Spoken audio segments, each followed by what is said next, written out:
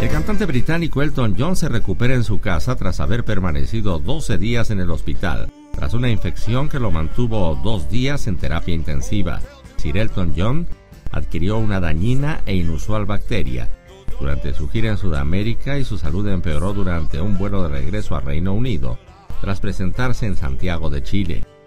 Infecciones de esta naturaleza son raras y potencialmente mortales, señala un comunicado de su agente. Sin embargo, no especifica el tipo de infección que adquirió el prolífico músico. El cantante, quien cumplió 70 años en marzo, se recupera en su casa y ha cancelado su gira en los próximos dos meses, incluyendo su residencia en Las Vegas.